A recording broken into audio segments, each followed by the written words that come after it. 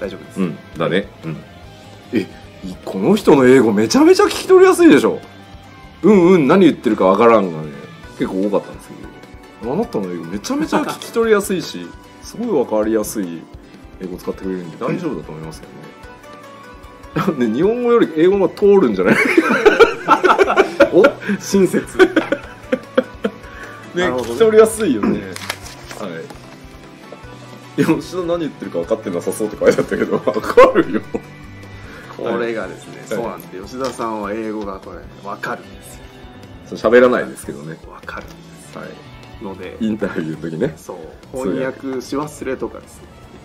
あれ今これ言ってないよねっていう指摘がたまにピュンって飛んでくる時が ドキッてする時がまれにあります。たまにねあの面倒くさくなってねはしょる通訳者がいるんだよね そうそう。まあ大意は合ってるんだけどそうそう。ここ言いたかったんだよねみたいな、待ってそれ3つ俺が言う言いたいことそれ欠けてるよね今。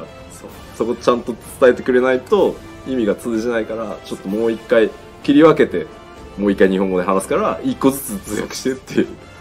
あれねうざいよね。そこまで分かんだら喋れよっていう話だけど喋れはしないんですよね。これが不思議なもので。はい。というわけで